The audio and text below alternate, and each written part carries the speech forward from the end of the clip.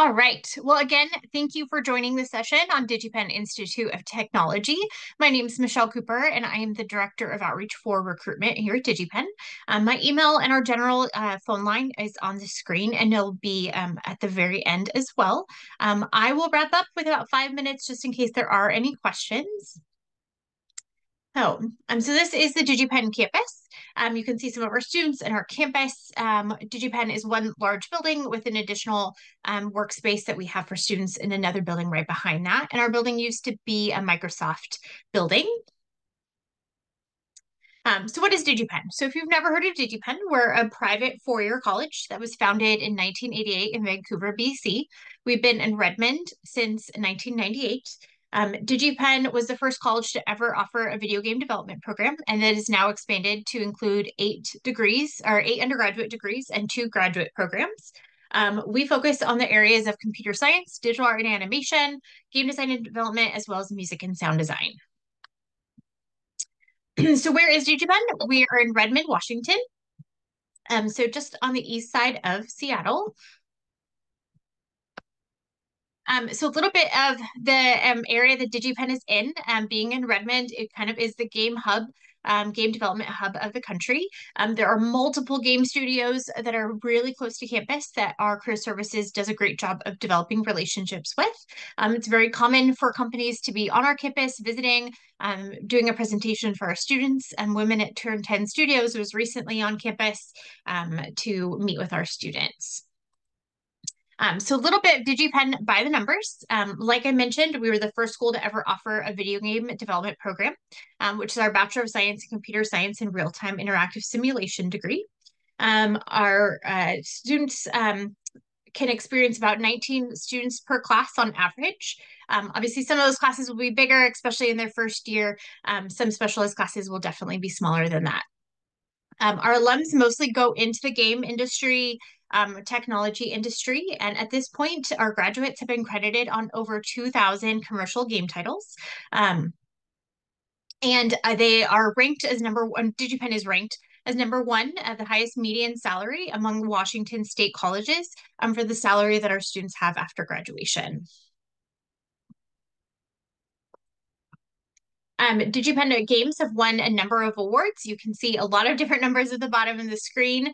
Um, they have won over uh, 313 awards for game project, 514 awards for um, our films and animations. Um, and DigiPen has been ranked as one of the top five game design schools in the country by Princeton Review um, for the last 14 years. Um, so I mentioned the areas of expertise that DigiPen has, and so that's how we break down our um, eight degree programs, eight undergraduate programs, and two master's programs um, into these four areas. Um, so I'm going to focus on our graduate or undergraduate programs um, a little bit more tonight. Um, so under computer science, we have the Bachelor of Science in Computer Science, which is a um, pretty straightforward Bachelor of Science and Computer Science degree, which is a great option for students who are looking to study computer science, um, but want to learn the way the DigiPen teaches. Um, all of our computer science students um, will learn C, C++, C Sharp. They take a lot of similar courses in their first year. Um, so, and then they start taking their more specialized classes um, in their second year. Um, our um, first specialized degree is the Bachelor of Science in Computer Science and Machine Learning, um, where our students learn how to program predictive algorithms. Um, so they're learning how to program things that we all kind of interact with on a day-to-day basis. Um, when Netflix suggests new shows, when there's ads that pop up in our social media based on our Google searches, um, when um, we see a self-driving car, a Tesla self-driving car on the freeway. Um, under game design and development, um, we have the Bachelor of Arts in Game Design. Um, and this is a program um, for students who are looking to pay attention to a game's rules, the story, the levels. Um, these students will take a lot of psychology classes, humanities classes. Um, about a majority of their classes are around game design. And they will take some computer science classes. Um, and then there's a number of specializations that they can pick from um, that they will focus on in their last two years. So in the first two years, they focus on taking classes in all of those areas. so that could be narrative design, level design, user research, research, things like that. Um, and then to get to focus on those, um, on a certain ones uh, later on. Um, the Bachelor of Science, Computer Science, and Game Design. Um, so we usually get a lot of questions, and there's a great video on the website that compares and contrasts the two that help students decide um, between those two. Um, but this is mostly a computer science degree. Students will take about 90% computer science classes and about 10% of those game design related courses. Um, I mentioned um, our first, we were the first uh, college to offer a game development program, and this is the Bachelor of Science, Computer Science, in Real Time Interactive Simulation. These students are learning how to program games to happen when they should happen. Um, so when you hit a command on your controller, you would expect your character to do something um, immediately. So a particular jump, Mario, you would want to see Mario do something. Um, these students are programming, learning how to program those games to happen when you want them to happen and how you want them to happen. DigiPen offers two sound related programs. Um, the Bachelor of Arts in Music and Sound Design is a great program for students who are musicians. Um, they will have a, uh, a, tutor in their instrument of choice, um, or if they're vocalists throughout their time here at DigiPen. Um, they'll take music theory and composition, but they will also be learning sound design. So, learning how to recreate sounds that maybe they can't record in nature. Um, they're learning how to do that in studio um, the Bachelor of Science in Computer Science in Digital Audio. Um, these students are learning how to program a sound engine. So it's pretty similar to the real-time interactive simulation, um, but it's going to be more sound uh, and sound related. So making sure sounds are correct in a game. So if there's hail or a car goes into a tunnel, you would expect certain noises and sounds, and these students are programming those those to happen. Um, and then finally, our digital art and animation program. Um, it's a Bachelor of Fine Arts in Digital Art and Animation. Um, students will take some traditional art classes, a figure drawing class, especially in their first year. Um, and then starting in their junior year, there are a lot of electives available. So students can kind of hone in on the certain classes um, that they want to take um, based on what's offered. Um, but it allows them to kind of make sure that they're focusing on a certain area that they're really interested in and looking for in their career. Um, so a little bit of DigiPen's academic approach. Um, DigiPen um, students will take classes just like you would expect in a more traditional college. Um, they'll be learning all the theory and knowledge that they need in lecture classes. Um, and they will have individual assignments and tests and all those different things. There might be some group projects, um, but really the core of DigiPen's curriculum is putting all of that classroom knowledge into practice. So starting their sophomore year, students have the opportunity to be on a project team. Um, they uh, have a lot of say as to who is on their team, who they work with. Um, and they will usually work on usually a game or an animation. Those teams can vary between about three to 20 students. Um, most of our students will graduate with two to four professional quality projects. Um, and so we, and you'll see lots of examples on our website. Um, under the student showcase, you can see a lot of those examples. We have um, many, many student games uh, published on Steam as an opportunity for the public to play our student-made games, um, and they get to really put everything into practice so that they're ready um, to enter the workforce. Um, and those teams are made up of students from different degree programs. Um, so they're also learning how to work with folks um, who are coming at the project with different skill sets. So applying at DigiPen, um, DigiPen does work on rolling admissions and students apply specifically to one degree program. Um, so our office is here to help um, as students are making that decision. And um, there's lots of ways to connect with us that I'll cover towards the end of the presentation. Um, but all of our applicants do submit certain um, items, and then each degree program does have a little bit of different admissions requirements. Um, so all of our applicants are required to submit an application. DigiPen has its own application um, that's available on the website, and that's currently open. Um, high school transcripts are required, or if a student has taken um, community college classes or something else, maybe Running Start, we would need those transcripts. We can take unofficial transcripts this year um, for evaluation. We would eventually need the official transcripts, but for evaluation, that is fine to submit. And then a personal statement is required of all applicants. Um, and then there are a couple of items that are optional for our applicants to submit. Um, the first one of which is in a second essay. So they um, can submit a second essay to describe anything else they want to to our evaluators that they feel like wasn't covered in the rest of their application. So that can cover a variety of topics. Maybe it's a grade, um, grades that were a little bit lower one semester and they want to explain what happened, what they learned. Maybe there's something they're really proud of that they want the evaluators to know. Um, so a lot of different students will use that for a lot of different reasons. Letters of recommendation are also optional. Um, we do ask that those come from um, a teacher or an employer rather than a family member, um, someone who can speak to their work ethic.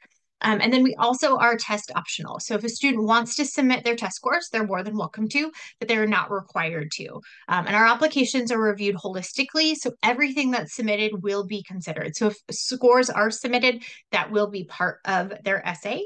Um, if students do want to submit an optional item um, and have it there before it gets sent to evaluation, they just need to let our application team know so they can hold on to their application um, before sending it to evaluation. And once everything's submitted from the student, it can go to evaluation. Um, so different ways that students can think about preparing for our degree programs and things that they need to submit. Um, so starting with the Bachelor of Science uh, programs, we encourage um, math and science classes. Um, if they can take a computer science class now, that's awesome. It just helps them prepare, helps them um, practice something that they think they might study later on. Um, and so we really encourage that, but we don't require that they've taken a computer science class. We do require for four out of the five Bachelor of Science Computer Science programs that students have taken at least pre-calculus. Um, the game design program doesn't require it, but we do recommend it. Um, so if students have not taken pre-calculus, we encourage them to get that on their schedule um, and make sure that they've taken it if they're applying to one of those four BSCS degrees. Um, for the Bachelor of Art in Game Design, um, if students can take psychology classes, um, if they can make a game for their friends and get some feedback, um, those things are going to help. For the application, students submit a design portfolio. Um, that includes, there's a prompt regarding a park bench um, that they respond to, and then they also submit two additional essays um, describing two things that they've designed. So the portfolio as a whole are three essays, um, one responding to that park bench prompt, and then talking about two things they've designed. And that can be a lot of different things um, they could talk about a cookie recipe they designed or board game that they designed. What the evaluators want to see is their design process. And so how they thought through that project the Bachelor of Fine Arts program. We encourage students to draw as much as they can. If they can't take an art class, that's awesome. That's just going to help them. Um, they do need to submit an art portfolio that um, does um, require 10 to 15 pieces. Um, students can contact our office if they would like um, an art feedback session. We can get that scheduled with one of our art faculty as they're working on it. So not when they're completely done and ready to submit, um, but as they're in process, that's something we can do so they can get feedback as they're working on their portfolio. Um, and then finally, the music and sound design. Um, students submit a music portfolio. Um, basically, it's just two uh, different videos of them playing their instrument of choice, um, different styles of music. Um, we encourage them to be playing an instrument, um, understand harmony and pitch, um, being able to read music, all those things are going to help them in this program. And for all of these, um, there are more details on our website of what is required for all of the different pieces um, that I just described. Um, our, um, I mentioned we're working on rolling admissions. Um, and so uh, the application for each year usually opens in September um, for the following fall. Um, and so for fall 2024, um, we just um, had our priority application deadline, um, but our general deadline isn't until April 1st and our final deadline is July 1st. So that's when we will close the application is July. Um, we encourage students to get their application in as soon as possible um, because some of our resources that we offer um, are first come, first serve. So for scholarships, those are first come, first serve. And the better um, chances are when students are applying earlier with uh, throughout the admission cycle. Um, if students apply by the April 1st deadline, that does help them with housing, the housing application. Um, students can only apply for housing if they have um, been admitted and um, gone through the process of being enrolled. Um, so made the decision to come to DigiPen and sign their student enrollment agreement. Um, and then, like I said, we will close the application on July 1st um, for the fall semester. DigiPen does offer a spring start. Um, you can see our deadlines for this past um, spring um, that starts in early January. Students that start in spring um, will usually also take a summer semester, and then that catches them up with the students that started in the fall. And only three degree, degree programs do offer um, a spring start, so it's not available for all of our undergraduate programs. Um, so a little bit of uh, student tuition information. Um, these are the costs currently for the 2024-2025 uh, school year. Um, so this will be uh, coming up for the fall 24 semester. Um, these uh, the tuition will be 39100 for the academic year um, so both fall and spring semester on average, um, a full-time DigiPen student is taking about 17 to 20 credits per semester. Um, and so that's what this covers. The tuition covers 16 to 22 credits. Um, if they're taking less than that, they pay, pay per credit. Um, and uh, and so it is a pretty rigorous curriculum. Just to keep that in mind, um, that it's a it's a busy. Um, we keep our students busy for sure. Um, and then below you see some estimates of other costs that uh, our students would have. Um, so housing, living expenses, food, um, books, different school supplies, transportation, and personal expenses. Um, these are estimates. Um, it's not completely, um, it, every student is going to be different. So it depends if they li are living with a lot of roommates, if they're living in DigiPen housing, if they're living at home. so these costs will differ, but this just kind of gives you a good idea of what you can expect. Um, DigiPen does offer housing. Um, our housing is apartments that are all within about two miles of our campus. Um, there's a shuttle that goes back and forth um, between the campus and the apartments. Um, and we do have professional staff, student staff that live on site.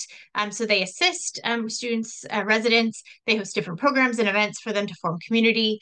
Um, our apartments are furnished, so couches and coffee tables and things like that. Um, students do need to supply their own bedding and um, dishware and things like that, TV, um, and they can work with their roommates to decide who's bringing what. Um, but all the utilities and things are included in the price um, of the apartment that students would be living in. Um, you can see the housing email is there. It's just housing at digipen.edu if you'd like to contact them with any specific questions. So a little bit of student life at DigiPen. They're not just students, um, and students uh, have the opportunity to join a variety of student organizations. Um, so different clubs. Um, those can change from year to year. There's usually a couple or a lot that actually are um, carry over from year to year. Um, one of those is Prism, um, which is a great um, LGBT group on campus um, for students to find community. Um, there's a, a, Cage of the Week club. They watch a Nicolas Cage movie every week. Um, but students can also start their own club if there isn't one that they're interested in joining. Um, there's a variety of events that happen every year. Um, that includes a Halloween pageant, LAN parties. Um, there's always a welcome week to start the school year off. Our student ambassadors work in my office um, and they're assisting us with different events that we host for prospective students. Um, company days are available for students. Um, I mentioned companies come and visit our campus, present to them. Those are called company days. Um, the DigiPen Student Union is our student government. Um, so lots of options for students to be involved on campus, hold leadership roles. so different ways to find community. Um, different ways to connect with us here at DigiPen. Um, students can chat with us um, and uh, current students. Um, we have a admissions Discord students can join, um, ask professional staff um, questions. Um, we can get them in contact um, with who they may need to get in contact with. That's a great way to get a hold of us. And we can accept text messages if that's easier for students to get a hold of us. Um, admissions meetings are on Zoom, so they're one-on-one -on -one with an admissions staff member to review any questions that a student has. And um, online information sessions happen about once a month, if not more. Um, we have one about once a week this month called the Deep Dive Series. Each week we focus on a different area of study so students can learn um, more about that program directly from one of our faculty members um, and from current students in that program. And those are Wednesdays um, at three o'clock and um, and if students attend um, either the admissions meeting or the online information session, we'll waive their application fee. Um, all these in-person events, we will also waive their application fee if they attend. Um, our preview days are Saturday events. They again happen about once a month. The next one is in March. Um, and that's an opportunity to come to campus on a Saturday. You get to hear from our president, um, admissions, financial aid, um, housing representatives are available to ask questions. Current students are available. Um, there is a session each time on, again, each area of study. So you can go and spend an hour with the faculty um, to learn more about that program. Um, we have daily campus tours. We have two options, Monday through Friday, 10 a.m. and 3 p.m. Um, so an opportunity to visit the DigiPen campus and spend about an hour um, with one of our staff members getting a tour of our campus. And then finally, our student shadow program. This is an opportunity for our students, uh, prospective students to come and spend a time with one of our current students, attend a class, um, in the area of um, study that they're interested in and get just kind of get a sense of what it's like to be a DigiPen student and um, get a feel if that's exactly what they want to do. Um, we need a couple weeks to get that planned and ready for your student, but we um, that it's a great option. For any of the events that I discussed, you can register on our website under the Visit Us button or contact our office and we can help you um, get registered. Um, so this is more contact information for our office. Um, our direct line is 425-629-5001. You can text our office at 425-414-3633 and we answer those Monday through Friday, 9 to 5. Um, and then our email is outreach at digipen.edu. Um, the DigiPen website is also listed, um, www.digipen.edu. Um, this is my direct contact information. Again, our general information listed again. And then at the bottom is a survey um, for the college fair as a whole tonight. Um, so you can write down or click, or you can write down the link or uh, use the QR code. Um, but I'll go ahead and keep that screen up for just another minute or so if you want to write that down. Um, and then I can take some questions if you want to write that in the chat. Um, and I can go ahead and answer those um, so that everyone can hear them.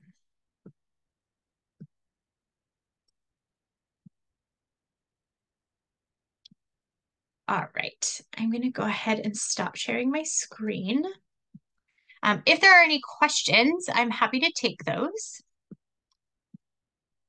And feel free just to write those in the chat.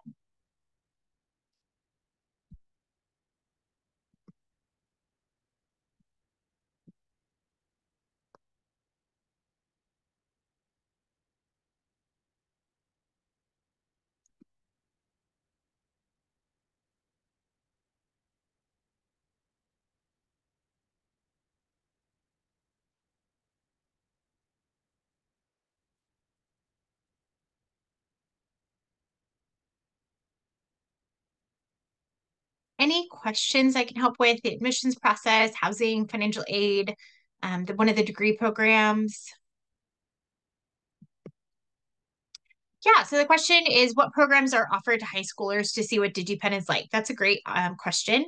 Um, so all those events that I mentioned, those are ways to learn about our programs. Um, there are a couple of other resources. Um, the DigiPen Academy offers um, programs speci more specifically for 11th and 12th graders. They have a pre-college program. Um, so that's a great way to learn a little bit um, about um, the DigiPen curriculum. Um, so let me bring, I can get you that link, just one second.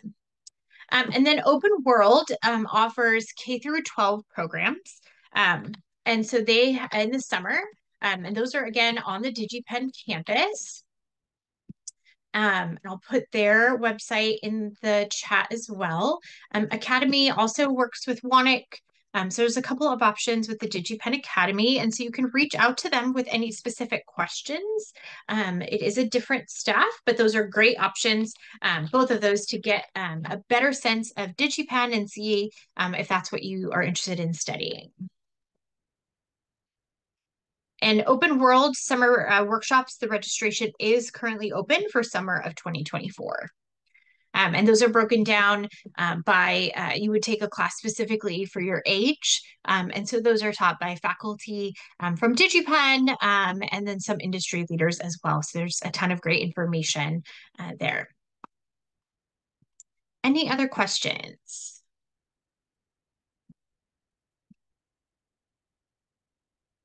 Yeah, so uh, another question is for music and audio degrees, is an audition required um, on your main instrument for admission? That's a great question. Um, again, so did DigiPen for the Bachelor of Art in Music and Sound Design, you would submit video of your playing your instrument of choice.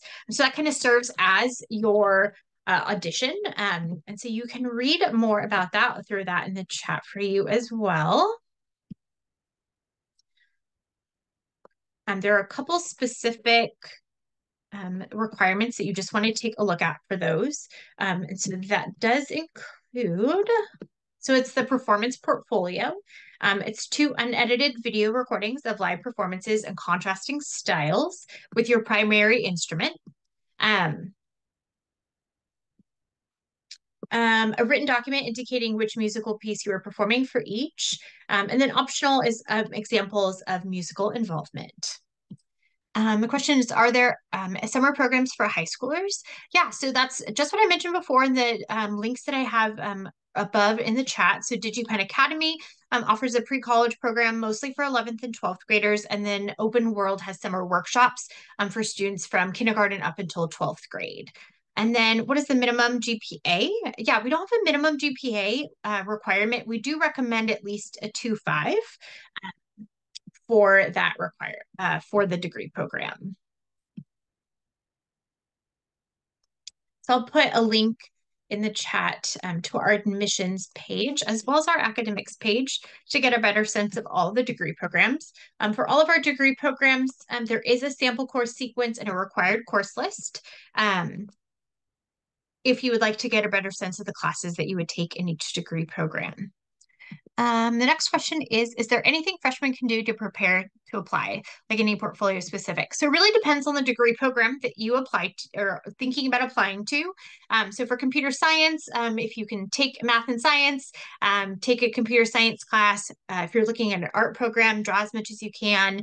Um, take um, an art class uh, for game design. Psychology might help history classes um, working on games. And if you're looking at the music program um, playing an instrument being part of the band at school uh, different things like that. So it really just, just depends on the program that you're looking at.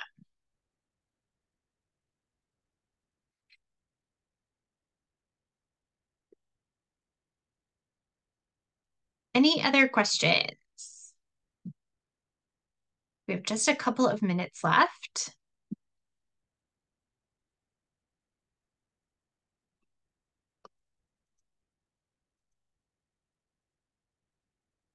there any internships? Great question. Um, so DigiPen will host an internship fair, um, our career services hosts. And so that's an opportunity for sophomores and above to um, go and meet with companies that are looking for internships. Um, that is, there is an option to do an internship for credit if you were interested in that. Um, and um, DigiPen will assign students to an internship, but will help make them aware um, if there are internships um, that they know are open that's a great uh, way to start to put all your skills into practice um, outside of the project teams, um, but starting to make those connections in the workforce. Uh, what kind of core education classes will students take in addition to their specific degree classes? Yeah, so um, DigiPen, because you're applying to one degree program, um, you do get to start your degree program classes on day one. Um, some of those core education classes will be spread out more throughout the four years than concentrated in the first two, like you might see at a more traditional school. Um, so I'll throw this link in again. Um, in those course requirements um, for each degree program, you'll get a better sense of what those core classes are for each program. Um, some of those will differ depending on the degree program the student is in. Um, but it does include English and math and things like that. Students can add a minor if they are interested. Um, there are a variety of minors, um, art, electrical and computer engineering, English, mathematics, music, physics, and psychology.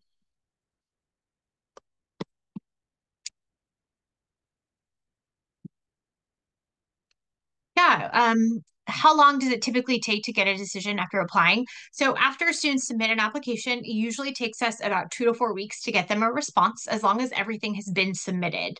Um, so after our application team has determined everything is in, it goes to evaluation. At that point, it does uh, usually about two to four weeks, sometimes a little bit longer if you submit right at the April 1st or July 1st deadline. Um, but that is on average two to four weeks.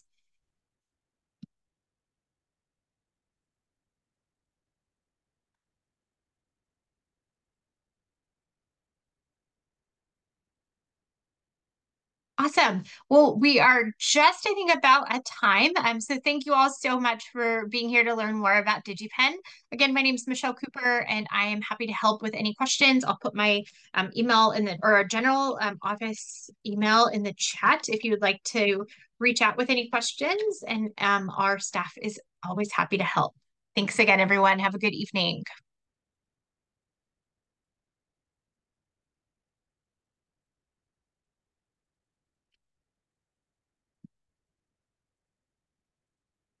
You're very welcome. Thanks for joining us.